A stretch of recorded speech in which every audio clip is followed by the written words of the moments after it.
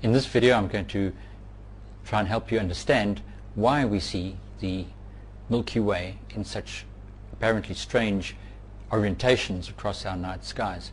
At some point we can actually see it coming from say our northwest to our southeast. Other times it would be from our northeast to our southwest. There's other times when it appears to ring our horizon and then there are other times as well when it appears to across the southern horizon. And I'm talking about this is the situation that we would be seeing from um, approximately the latitude of Johannesburg or Pretoria in southern Africa. So to try and understand this, it is really helpful to use a model. So I've developed this model, the Milky Way. This is the disk, the Milky Way disk. There's the center of that galaxy. And this here is more or less where the Earth is situated in our galaxy. Uh, it's approximately two-thirds of the way to the edge and it is lying in this direction away from the tangent and it is tilted over at that sort of angle.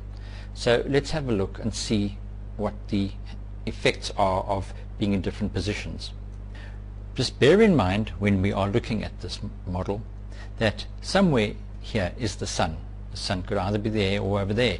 Of course it is the earth that would be moving around the sun, orbiting around the sun once a year. So we take the sun out of the equation here and uh, we all that the only difference the sun would make in this here is that it, it, it, determines at which time of the year we can see the different parts of the Milky Way. If the sun were over here we'd be able to see the outskirts of the Milky Way.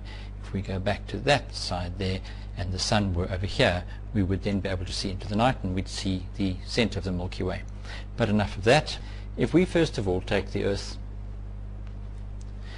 and we rotate the Earth, and this is of course what it does every day, it rotates once, and we rotate it to the position where Africa is looking in the direction of the center of the galaxy. And from this position we can see that the disk of the Milky Way extends from the northeast all the way through to the southwest.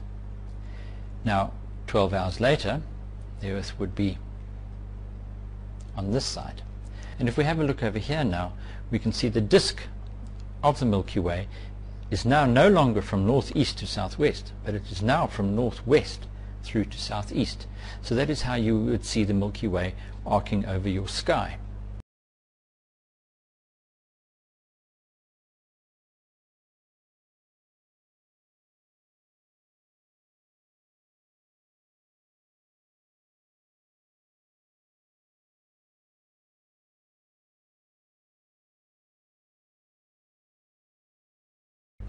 Let's go to another situation. Let's say the Earth was orientated this way. And what we'd find is you'd be there, and what you would then be able to see, if you looked in your southerly direction, there you would see an arc of the Milky Way extending across your southern horizon. Let's move again to the fourth position. And here we have the Earth at this position. And if we look at this, we would be standing upright here on this little earth. And what we would then see is if we looked around us, we would see the Milky Way all the way around our horizon.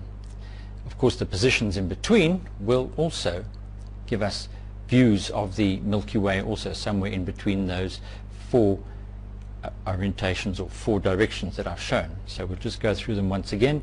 There is the Milky Way extending from the northeast to the southwest. There we have the Milky Way across our southern horizon. In the Earth in that position, we have the Milky Way extending from our northwest through to our southeast. And then the fourth position, if we are now standing upright over here, then we can all way, look all the way around us and that is where we will see the Milky Way all the way around our horizon. So I'm pretty sure that a model such as this helps to understand something that is actually very complex and to try and wrap your mind around what you are seeing in the sky is very, very difficult. So I hope this model has made a big difference and helped you understand why you see the Milky Way in its different orientations across our night sky.